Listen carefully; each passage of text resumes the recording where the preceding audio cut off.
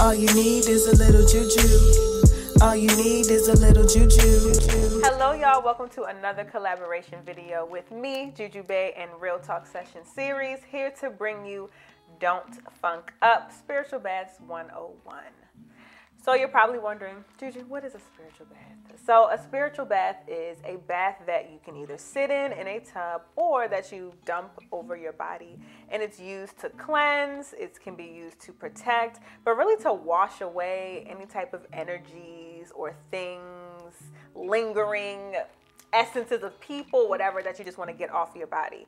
You can also take spiritual baths to bring in opportunities, to bring in luck. It kind of just depends on what you put in your bath. So today we're going to make a general cleansing bath, one that kind of purifies the spirit, will get away any icky stuff that you don't want anymore. Um, and that's pretty much it. So I'm going to show y'all an easy way to do that. So first thing I have is just a regular bowl of water. This is tap water. I was originally taught that you should use some type of purified water. So you can do that if you have it, but ain't nothing wrong with tap. So this is just tap water. So here I have the herbs we're gonna use for our bath. I chose oregano, marjoram, and mint. I chose these because this is just what my spirit wanted to, to use. I'm actually going to take this bath. Um, so I'm gonna open up all the herbs here. Oh, and we're also gonna use honey, just a little bit of honey to bring sweetness and Florida water, just for extra, um, and I like the smell of Florida water too for a bath. So I'm gonna go with oregano first, just gonna pick up some, as much as I think is necessary. And I'm gonna take it over the water and just remove the, the leaves some folks put the whole stems in. That's fine. I'm, I'm just not going to do that today. I'm going to just remove the leaves from the stem and then just throw the stems down.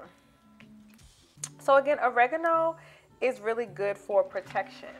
So we're getting some protection energy going on in the bath, protecting us from nasty spirits, people, just anything that we wouldn't want in our sphere, in our space um, and on our spirits. So I'm going to put oregano in here. Also, oregano is good for keeping the law away. I think I've mentioned that in one of the older videos. So I don't know, maybe if you got some problems with the law, you need to keep the police, child. No judgment, but you can use oregano in your baths to amplify that energy of keeping people you don't need around you away, particularly the law. So now that our oregano is in the bath, I like to just take my hands in it and just kind of tear it apart some more. See, I'm like just grabbing some of the herbs. And I didn't need a lot of oregano. And while you're making your bath and while you have your hands in the water, of course you're going to want to be praying. So what are your intentions for the bath? Right? Okay. My spirit's like, girl, put the rest of that oregano. We're going to use all the oregano. Um, so we're praying that any people that we don't need around us aren't close by, that we're safe, that we're protected from the law, that we're protected from anyone or anything that needs to stay away from us. I'm saying our prayers, I have that intention, I'm holding that intention while I'm making this bath.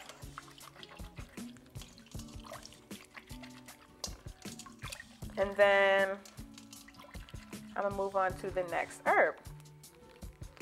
So next we're gonna use marjoram. I like to use marjoram to also protect, but it's almost protection in a different way. I think of marjoram as like protecting my heart, um, protecting my spirit, and also healing. So like healing from grief, healing from sadness, so if there's any particular like sadness that maybe you're going through that you just want to protect yourself from any further um, sadness, disappointments, grief, etc., I like to use marjoram for that. So we got some protection, some healing, moving through sorrow. That's what I'll use the marjoram for. do a little bit Let's do this chunk right here. And again, I'm just removing the leaves from the stem, not putting the whole stem in there. But if some of the stem falls in, that's fine. And there you go. So I'm going to do the same thing again. I'm saying my prayers around protection, around peace, around healing from grief, healing from traumas. I'm putting all that intention into this bath and to just cleanse myself and my spirit of any malice or ill intention.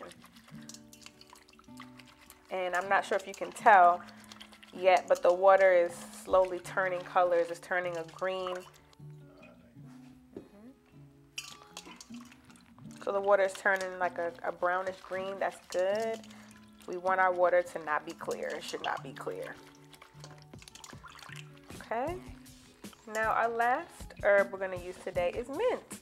Mint is one of my favorite herbs to use in a spiritual bath. Um, one, because it always makes the smell just pop, but also it just mint is good for so many different things. It's when we think about mint, we use mint to refresh our breaths, we use mint to clean, and so that's kind of the same energy that this this plant carries. It's refreshing our spirits, it's cleansing our spirits, it's removing any spiritual toxins, more or less, from our bodies. Um, but also, like I said before, mint just smells so good. It always just makes the bath smell perfect. So, yeah, let's just use all the mint.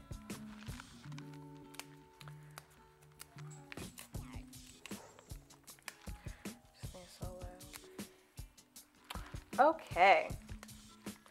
So we got all our mint in there. We got our marjoram and oregano. And now we just go to town. Really getting my hands in there.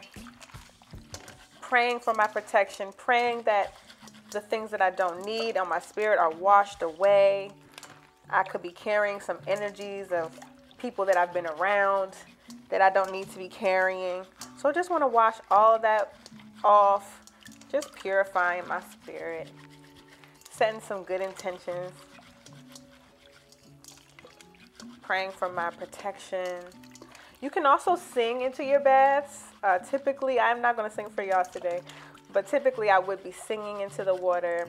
Um, I find that the herbs resonate very well to, to sound. Even if you can't sing, it's okay.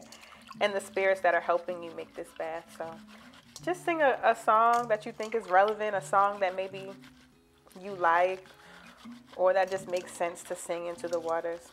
Just wanted to get a little browner. Once I see it starts changing colors, that's when it's beginning to work. And again, you put whatever herbs that you feel called to put into your bath. One thing that I like to say is, you know, maybe if you don't know what to use, go to the grocery store and go to the herb section or go to a herbal store and just pick out some herbs. You don't have to know what they mean. Just intuitively pick three or five or nine, however many you feel, and then go home and do your research, do some Googles, and see what the herbs mean. See if they're relevant to a situation that you may need to take a bath for.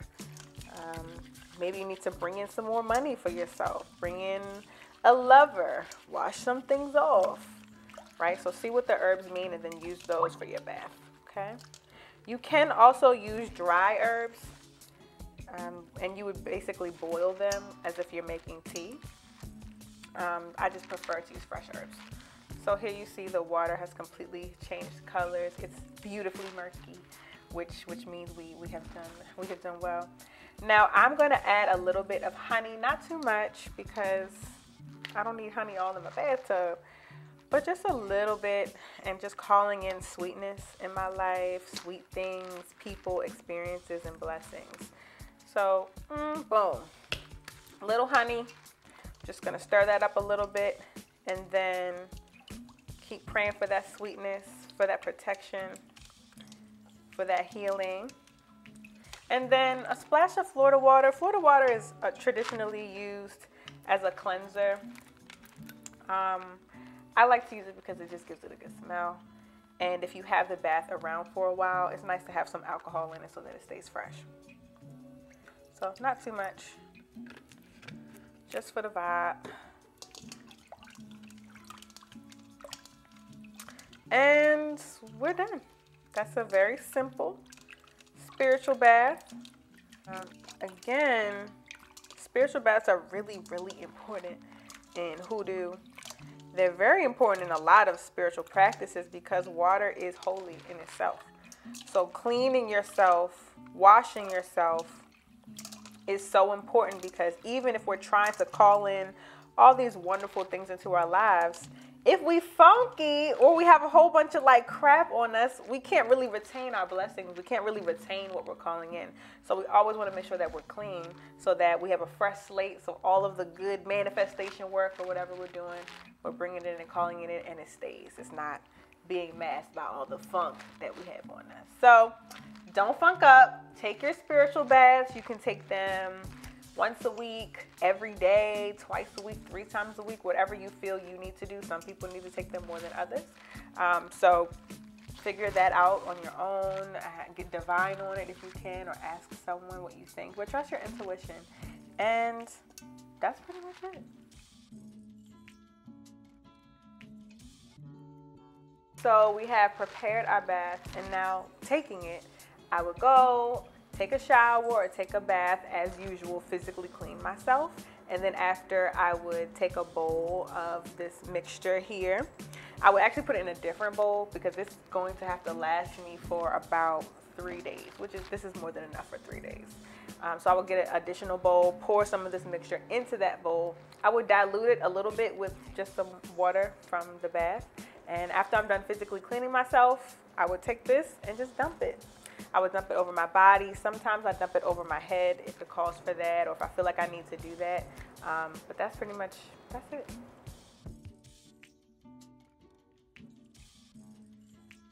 To preserve your spiritual bath, you will want to keep it in the refrigerator. These are live herbs, so they can spoil just like anything else. So if you're not taking all of your bath in one day, keep it in the refrigerator so that it doesn't go bad. Um, this bath will probably last me three days. I'm thinking I'm going to do a three day bath. So I'll keep the remaining bath that I don't use in the fridge until I'm ready for it the next day. You can also make a whole bunch of spiritual bath and put it in a container, an old juice bottle, an old lemonade bottle, and freeze it. So when you're ready to take another bath, you have it in the freezer, you take it out, you let it de-thaw, and then you've got a bath for the future. You can absolutely make spiritual baths for other people if you feel so called to. Maybe you feel like someone in your family or a friend could benefit from your spiritual work. So, yeah, you can make baths for other people. I would check in to make sure you're using the right herbs and that it goes along with what they're able to have on their bodies, etc. But yeah, you can definitely make baths for others as well as yourself. But make sure that you're not funky first before you're dealing with other people. So I didn't say earlier, but some folks will drain out the herbs, the physical herbs from the bath and just have the water and use that in the tub. Some people, like me more recently, I've been keeping my herbs in which means that I have herbs all up and through my tub when I'm done. Um, just make sure that you, you clean that out each time once you finish your bath. Um, you can do either. I don't think it matters. You can strain if you want to, keep the herbs in if you want to. Thank you all so much for tuning into Spiritual Baths 101 Don't Funk Up. Don't forget to like and subscribe to this YouTube video as well as comment and let us know what you think. Follow me on Instagram at It's Juju Bae and also follow Real Talk Session Series on IG. Listen to our podcast. We have the Miseducation of the People as well as a Little Juju podcast, and you can find both wherever podcasts are streamed. And do not forget to go to the Real Talk Session Series merch store. All the proceeds from the merch go to fund educational videos such as these. Uh, thank y'all for watching. I'll see you later next time. And remember, all you need is a little juju. Don't funk up. Later.